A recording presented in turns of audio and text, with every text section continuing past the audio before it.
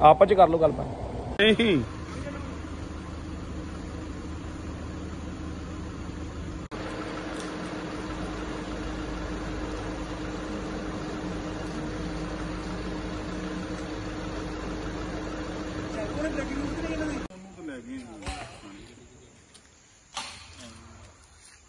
ਉਹ ਠੀਕ ਆ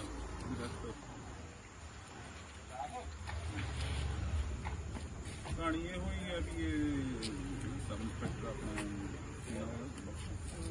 ਬਖਸ਼ੀ। ਹੀ ਪਿਛਲੇ ਵਾਰ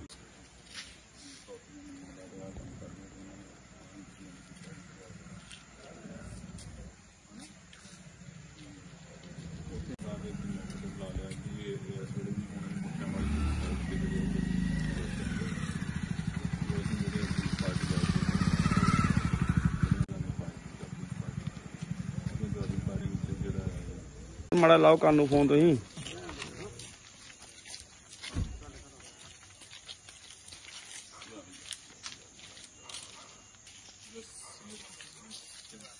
ਉਹਦੀ ਲਾਈਟ ਬੁਝਾ ਦਿਓ।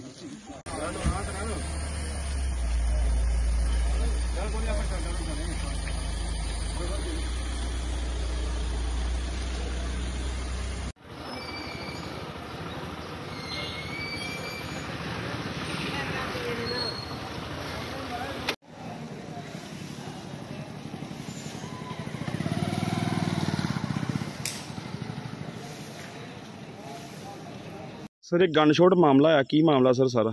ਇਹ ਮਾਮਲਾ ਦੋ ਫਰੋਤੀ ਮੰਗਣ ਵਾਲੇ ਦੋਸ਼ੀ ਸੀ। ਇੱਕ ਪਵਨਦੀਪ ਹੈ ਤੇ ਦੂਸਰਾ ਕੋਮਲਦੀਪ ਹੈ ਪਵਨਦੀਪ ਭਿੱਖੀਵਿੰਡ ਦਾ ਰਹਿਣ ਵਾਲਾ, ਕੋਮਲਦੀਪ ਜਿਹੜਾ ਹੈ, ਇਹ ਖਾਲੜੇ ਦਾ ਰਹਿਣ ਵਾਲਾ ਹੈ। ਇਹਨਾਂ ਬਾਰੇ ਇਨਫੋਰਮੇਸ਼ਨ ਸੀ ਕਿ ਇਹ ਇਸ ਵੇਲੇ ਜਿਹੜੇ ਮੁੱਠਿਆਂ ਵਾਲੀ ਸਾਈਡ ਤੇ ਜਿਹੜਾ ਥਾਣਾ ਸਦਰ ਪੱਟੀ ਦਾ ਏਰੀਆ ਉਸ ਏਰੀਏ 'ਚ ਘੁੰਮ ਰਹੇ ਆ। ਇਹਨਾਂ ਦੇ ਕੁਝ ਦਿਨ ਪਹਿਲਾਂ ਘਰਿਆਲੇ ਇੱਕ ਸੁਨਿਆਰੇ ਦੇ ਘਰ ਦੇ ਬਾਹਰ ਵੀ ਗੇਟ ਤੇ ਗੋਲੀਆਂ ਮਾਰੀਆਂ ਸੀ ਤੇ ਉਹਨੂੰ ਡਰਾਉਂਦੇ ਧਮਕਾਉਂਦੇ ਸੀ ਉਹ ਕੋਲ ਪੈਸੇ ਦੀ ਡਿਮਾਂਡ ਕਰਦੇ ਸੀ। ਅੱਜ ਇਨਫੋਰਮੇਸ਼ਨ ਮਿਲਣ ਤੇ ਅਸੀਂ ਟੀਮ ਸਪੈਸ਼ਲ ਟੀਮਾਂ ਤਿਆਰ ਕਰਕੇ ਜਦੋਂ ਇਹਨਾਂ ਨੂੰ ਕਾਬੂ ਕਰਨ ਦੀ ਕੋਸ਼ਿਸ਼ ਕੀਤੀ ਔਰ ਭੌਵਾਲ ਤੋਂ ਮੁੱਠਿਆਂ ਵਾਲੀ ਰੋਡ ਤੇ ਬੰਨ ਦੇ ਉੱਪਰ ਇਹਨਾਂ ਨੇ ਜਦੋਂ ਇਹਨਾਂ ਨੂੰ ਕਾਬੂ ਕਰਨ ਦੀ ਕੋਸ਼ਿਸ਼ ਕੀਤੀ ਤੇ ਇਹਨਾਂ ਨੇ ਗਾੜੀ ਨੂੰ ਫਾਇਰਿੰਗ ਕਰ ਦਿੱਤੀ ਹੈ। ਪੁਲਿਸ ਨੂੰ ਵੀ ਜਵਾਬੀ ਫਾਇਰਿੰਗ ਕਰਨੀ ਪਈ ਜਿਹਦੇ ਵਿੱਚ ਇੱਕ ਜਿਹੜਾ ਪਵਨਦੀਪ ਹੈ ਜ਼ਖਮੀ ਹੋਇਆ ਹੈ ਜੀ। ਇਹਨੂੰ ਇਲਾਜ ਲਈ ਸਿਵਲ ਹਸਪੀਟਲ ਦਾਖਲ ਕਰਾਇਆ ਗਿਆ ਪੱਟੀ ਔਰ ਸੈਕੰਡ ਜਿਹੜਾ ਉਹਦੀ ਅਰੈਸਟ ਪਾਈ ਗਈ ਹੈ ਉਹ ਤੇ ਉਹਦੇ ਤੇ ਵੀ ਸਰ ਉਹ ਕੀ ਨਾਂ ਉਹਦਾ ਤੇ ਉਹਦੇ ਵੀ ਗੋਲੀ ਗੋਲੀ ਲੱਗੀ? ਹੈ? ਨਹੀਂ ਉਹਦੇ ਨਹੀਂ ਲੱਗੀ। ਇਹ ਕੋਮਲਦੀਪ ਹੈ ਇਹਨਾਂ ਕੋਲ ਇੱਕ ਗਲੌਕ ਪਿਸਟਲ ਮਿਲਿਆ ਨਾਲ ਜਿੰਦਾ ਕੌਰ ਰੌਂਦ ਮਿਲੇ। ਜਵਾਬੀ ਖੋਲ ਮਿਲੇ ਆ ਪ- ਜਿੰਦਾ ਖੋਲ ਜਿਹੜੇ ਫਾਇਰ- ਚਲਾਏ ਸੀ। ਫਾਇਰਿੰਗ ਪੁਲਿਸ ਤੇ ਕੀਤੀ ਪਹਿਲਾਂ ਇਹਨਾਂ ਨੇ? ਪਹਿਲਾਂ ਪੁਲਿਸ ਤੇ ਫਾਇਰਿੰਗ ਕੀਤੀ ਨਾ ਤਾਂ ਜਵਾਬੀ ਫਾਇਰਿੰਗ ਕਰਨੀ ਪਈ ਪੁਲਿਸ ਨੂੰ। ਠੀਕ।